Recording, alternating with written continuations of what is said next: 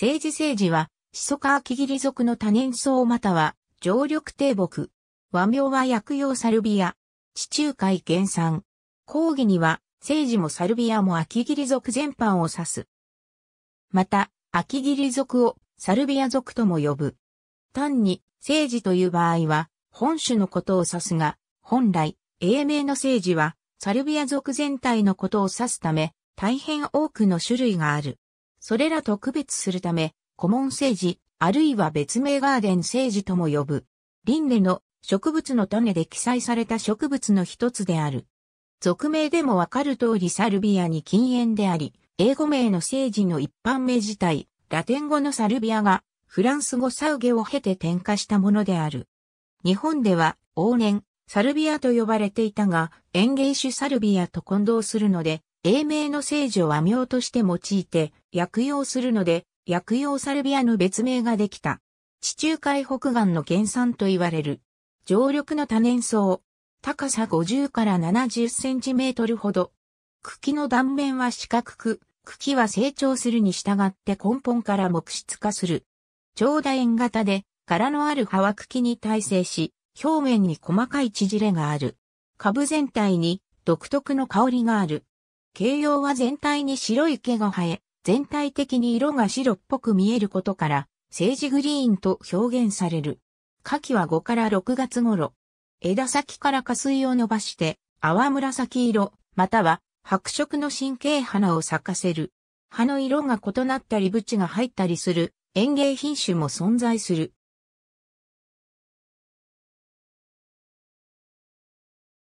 1551年にドイツの薬草家が、政治は医者、料理人にも台所、地下室の場所も貧富も問わず役に立つハーブであるという言葉を残している。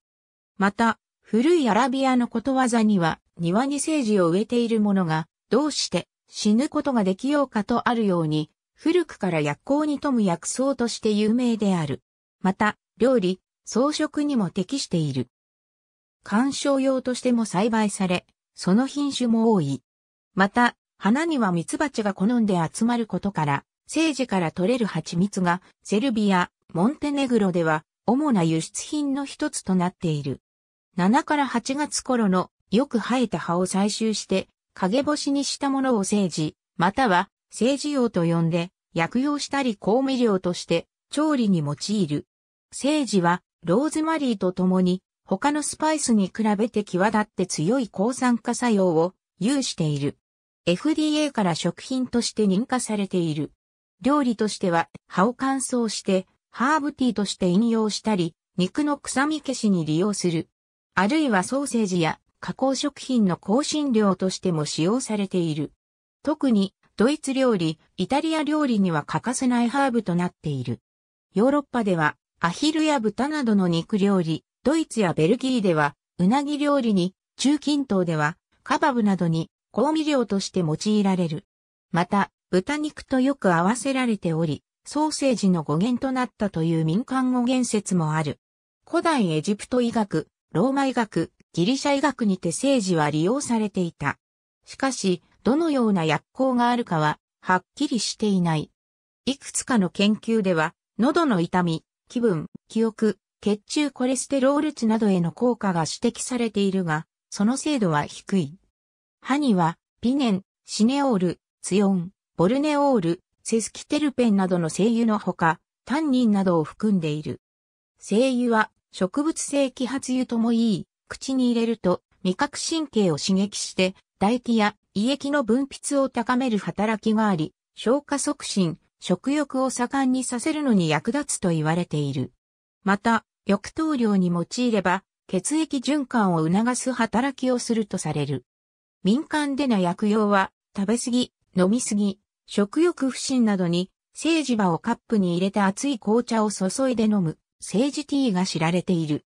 フランスでは、二握りほどのセージ用に、熱い赤ワインを1リットルほど注いで、15分ほど放置してからカスを除き、好みで砂糖や蜂蜜で甘みをつけたものを、食事の時に小さなグラスで一杯ほど飲み、疲労回復や食欲増進、牽引に役立てている。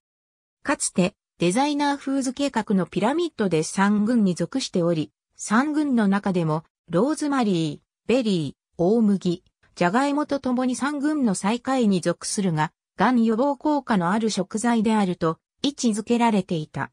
セージの変種、類似品種には、花や葉の色などから名付けられた多くの種類がある。種や苗で育てる。